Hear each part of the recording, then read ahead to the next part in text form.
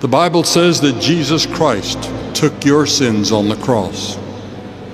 For he hath made him to be sin for us.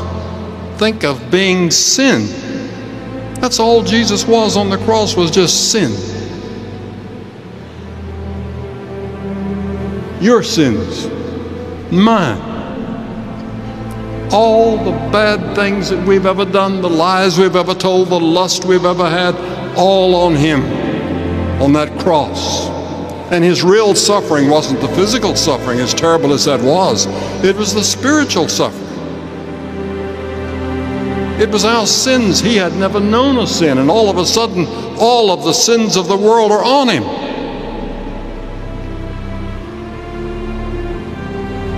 The Bible says the Lord laid on him the iniquity of us all.